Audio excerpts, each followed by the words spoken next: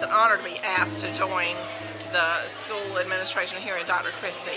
So I was very glad for the opportunity to come and do this and experience a day in the life of Horry County Schools. Um, I didn't know until just recently that it was going to be at the middle school level, so it was it was fun to, to be a part of that.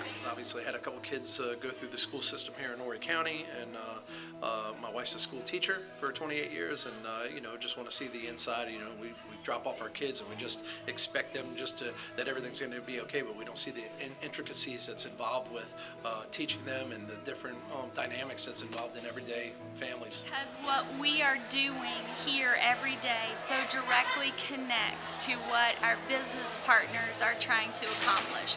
Our job is to build bridges, um, and when our community partners like Tara uh, understand what we're doing at school, then she can communicate with me more effectively about what we need to do with our children to make sure that they are viable employees for our community. I think it's great for business people to get into the schools to see what it's all about. These are our future employees and ones that, that we're going to be hiring in the next few years as it might be a summer job, it might be a professional level position.